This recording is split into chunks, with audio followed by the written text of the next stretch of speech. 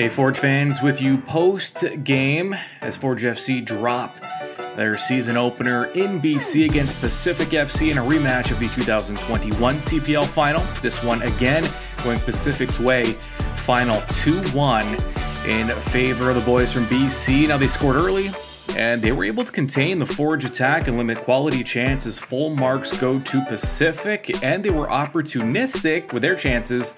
Forge made a couple of mistakes and defensively ended up in the back of the goal. 2 1 the final in favor of the, favor of, uh, the home side is Forge, despite winning two out of the first three Canadian Premier League finals. They're still winless in season openers 0 2 and 2 in four tries. Last season, Forge didn't even score until their third match of the season, so the club, not known for their great starts, more so how they finish.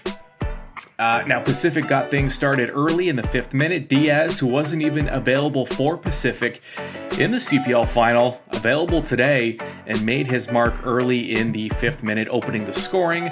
And uh, Pacific would add to that lead.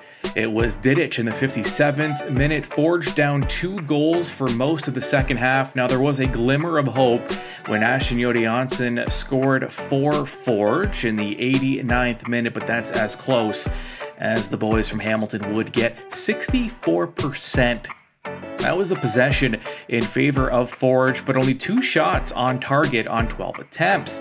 Forge coach Bobby Smyrniotis spoke post-game about his club's inability to capitalize on their chances. Yeah, I think it's about looking at uh, where our spots were in the box. You know, did we make the right runs? Did we make the right movements? Uh, because, like you said, uh, you know, we got the ball in there in the dangerous areas and the zones we want to get it to. So it doesn't come by accident. It's something that we work on a lot.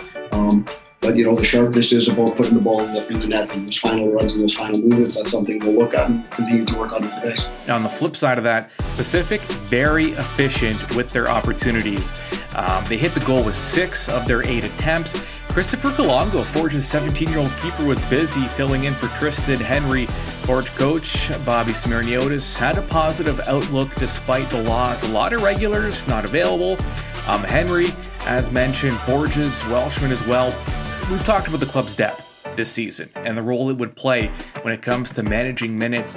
And Coach Smyrniotis talked about his depth post game. Well, the one thing we have is a lot of versatility in the lineup. Uh, you know, you look at today, and uh, due to like, some uh, small knocks, we're missing players like Triston Henry, uh, Tristan Borges, um, Emery Welshman. Um, who, are, who are back home and just for precautionary reasons, you know, you don't want anything to get worse as we go forward. But the one thing we do is we have depth in the team, you know, so we can uh, easily adjust things and you know, on many days you would have noticed that these guys were, were missing the field today. So I thought our quality was uh, was very good. So I'm very happy with uh, with seeing the guys and how they stepped into the into the games. And some guys have stepped in and played important roles, like Chris Kalongo in the goal and Kwasi Poku who comes in. You know, it's not easy sometimes coming in uh, so early into the game. You know, as a, as a substitute, and it was an important role he had to play in some of the tactical stuff that uh, we were working with on the on the left side of the pitch today. So I thought, you know, that's what you need your depth for, and I think that's very important in how you build uh, build the club and how you build success over long term. Forge now already looking ahead to Saturday, April 16th, 4 o'clock kickoff at Tim Hortons Field in Hamilton. Forge FC's home opener. They'll take on their old rivals, Cavalry FC. We'll see you there.